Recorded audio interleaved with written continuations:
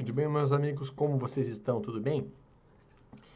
Bom, vocês viram que ontem eu estava conversando com a Carol, basicamente, sobre a ideia de, de como a abertura de um candle é extremamente importante para a evolução daquele candle em si.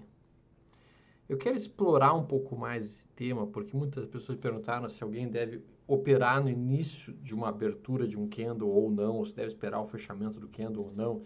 Existe um velho mito que diz que quem opera na abertura é sardinha, essas coisas todas. Então, nós vamos falar um pouquinho sobre isso a seguir.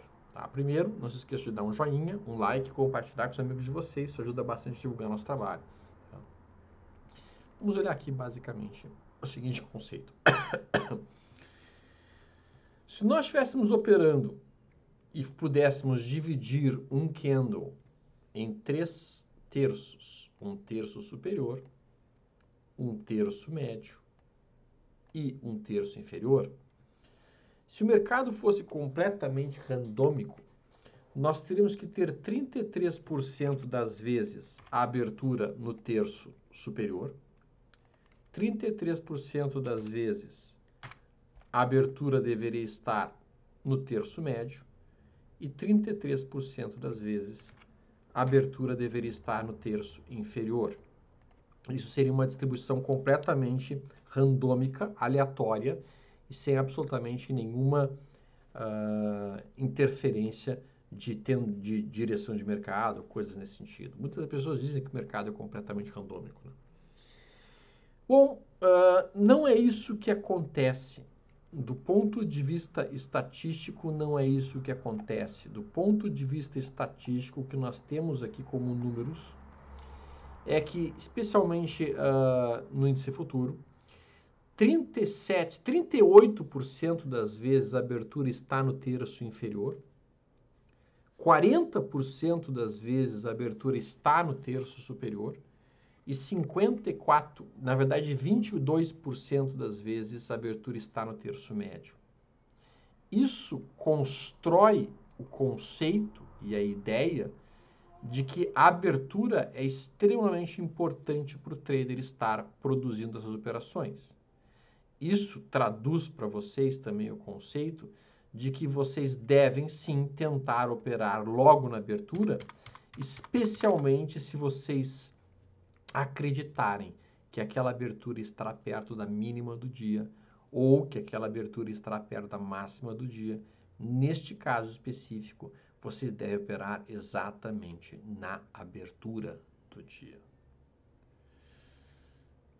Então, a pergunta que você, swing trader, deve fazer quando você olha a abertura de segunda-feira de cada semana é a seguinte: essa abertura que eu estou vendo aqui nessa segunda-feira, no final dessa semana, ela vai estar perto da máxima ou da mínima dessa semana que está iniciando.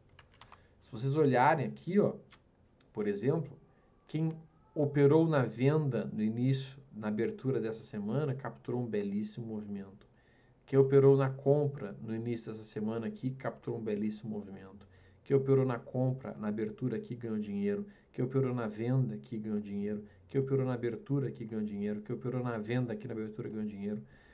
Quem operou na compra aqui, nessa abertura, ganhou dinheiro. Logo na segunda-feira, logo na segunda-feira, logo na segunda-feira, operando sempre ou na abertura para vender ou na abertura para comprar. E daí vocês podem me perguntar da seguinte forma, mas Alexandre, como é que eu vou adivinhar se a abertura dessa semana, a abertura de segunda-feira, vai estar perto da mínima ou se vai estar perto da máxima da semana? Como é que eu consigo adivinhar isso? Ah, existe uma forma de nós fazermos isso. Qual é a forma? Basicamente é a seguinte, usando os gaps a nosso favor. Agora, o que eu vou falar é um truque muito legal. É um truque muito legal. Tá? Muito legal. É o seguinte, se você tiver um gap, então o mercado, vamos lá, mercado está fazendo um movimento de alta e vem subindo. E daí ele abre em um gap de alta. E o primeiro candle daquele dia é um candle vermelho ou preto já de queda.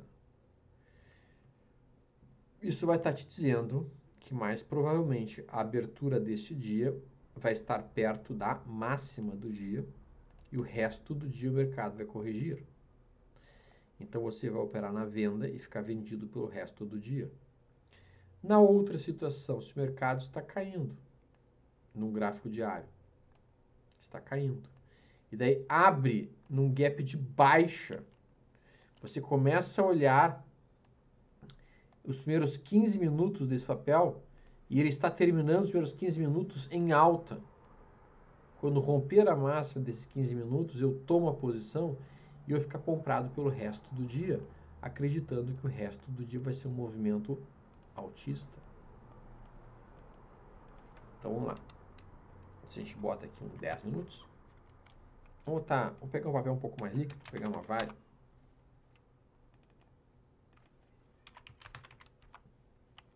Olha que coisa mais linda. Então aqui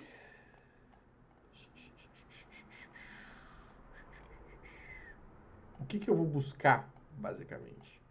O que eu vou buscar basicamente para tentar localizar um possível um possível candle que me represente um dia inteiro de movimentação é isto daqui, ó. Vamos ver. Eu quero um gap de alta que termine o primeiro candle do dia em baixa. Eu quero um gap de baixa que termine o primeiro candle do dia em alta. Essas são as coisas que eu quero para localizar esse movimento. Veja que não é muito frequente. Na verdade, é bem pouco frequente.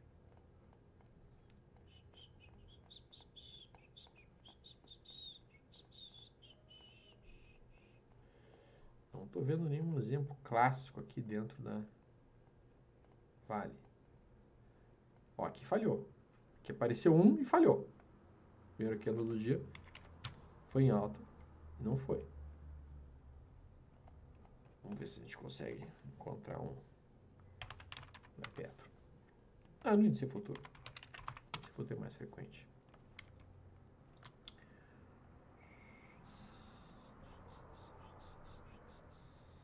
Ó. Aconteceu ontem. Dia 21 de novembro. Olha esse gap de baixo aqui. Primeiro candle termina em alta. A gente projeta a entrada na ruptura desse candle. E o resto do dia vai ser um movimento eminentemente comprador. Lindo trade. Lindo trade. Agora olha aqui, ó. Aqui quase funcionou para venda. Primeiro candle do dia abre em gap de alta e fecha em baixa. Deu a venda, mas o mercado dá uma última subida para só depois realmente acelerar para queda. E daí o resto do dia trabalhar em queda. Então aqui ele deu uma falseada, infelizmente. Vamos olhar aqui mais uns. Aqui ele abre num gap de baixa, dá o primeiro movimento de alta e depois recua para o resto do dia, que falhou. Na verdade, o mercado está fazendo muito esse padrão aqui que eu chamo de Search and Destroy Day, né? Em que ele rompe a máxima, perde a mínima, rompe a máxima, perde a mínima, rompe a máxima. Foi o que ele fez aqui também, ó. Rompe a máxima, perde a mínima, rompe a máxima, perde a mínima. Passou o resto do dia fazendo isso. Vários dias, vários dias. Mais uma vez aqui, ó. Search and Destroy Day, ó. Perde a mínima, rompe a máxima, perde a mínima. Aqui de novo, ó perde a mínima, rompe a máxima, perde a mínima. É um padrão muito destrutivo, de fato. Vamos olhar aqui se a gente tem mais alguns exemplos de gaps que poderiam ter sido operados. Aqui tem mais uma. Olha esse gap de baixo aqui, ele é perfeito, tá? Tribom de ser trabalhado. É um gap que estava perdendo essa zona de suporte aqui. Teve peroqueno em alta e depois lindo movimento, ó. Lindo movimento.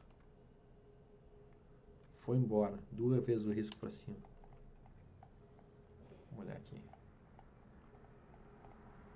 Então, o que eu quero é operar o gap para me dizer se aquele gap está a favor do movimento ou não. Aqui está perfeito. Ó. Esse aqui é o exemplo mais claro de um ótimo trade. Ó.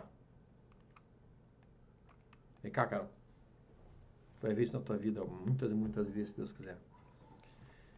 Isso aqui é um gráfico de 15 minutos em que a gente tem este gap de baixa acontecendo aqui. Então a gente abre abaixo do candle anterior. O primeiro candle do dia perdendo essa zona de suporte aqui. Então isso é um trap, uma armadilha. E o primeiro candle termina em alta. Isso aqui é uma excelente entrada. O stop ficando imediatamente abaixo dessa mínima. E teu alvo, no mínimo, duas vezes o risco para cima. O que eu gosto de fazer aqui geralmente é o seguinte. Quando bate aqui, eu vendo metade da posição e eu deixo o resto da posição até o final do dia. Se tudo correr bem, o resto do dia vai ser em alta. Ó. Então, realiza metade aí. Se eu tomei, vamos lá, 10 contratos, eu, eu vendo 5 aqui. E os outros 5 eu vou tentar deixar só para o final do dia. Olha que lindo movimento. Ó. Os outros 5 ficam lá para o final do dia. Sem nenhuma pressa mais, porque eu não tenho mais risco no trade. E aí, o final do dia acontece aqui, ó. Então, esse trade aqui, o cara começa aqui, termina no final do dia, ele botou simplesmente 890 pontos no bolso. Isso é muito dinheiro. Tá? Então, essa forma de trabalhar, quando a gente tem... Pena que são raros esses gaps. Quando a gente tem esse tipo de gap, é uma delícia de ser trabalhado. Muito, muito bom. Tá? Um gap... Aqui tem um outro, ó. Tá vendo? Abre um gap de baixa, fecha o candle na máxima, rompe e vai embora. 940 pontos para cima, né? Ah, então a gente vai ver isso de tempos em tempos acontecendo e quando aparecer a gente tem que aproveitar. São raros, por isso que a gente não pode perdê-los. Olha, olha, olha que beleza aqui, ó. Abre um gap de alta, primeiro candle termina em baixa, quando perder essa mínima, uma venda e tentar ficar vendido pelo resto do dia. Feita a venda.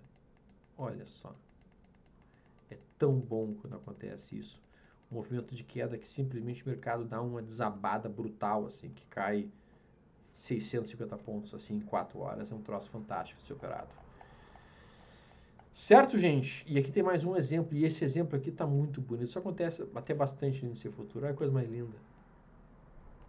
Abre num gap de alta, primeiro candle do dia fecha embaixo, quando perde essa mínima, pá! Venda. E vai ficar vendido até o final do dia, se tudo correr bem. Olha que delícia. 1.135 pontos. Tá? Isso aqui é muito bom de ser operado. O que a gente quer, então, é um gap de alta que termina o candle em baixa. Ou um gap de baixa que termina o candle em alta. Tá? Essa, esse é o conceito principal que a gente vai estar buscando para operar. Tá? Por exemplo, aqui é um gap de alta, mas terminou em alta, está no, lado, tá no lado sinal. Gap de alta, que termina em alta, está no lado sinal. Eu não opero. Tá? O que eu quero é um gap de alta que tenha terminado em baixa. Como esse aqui, ó.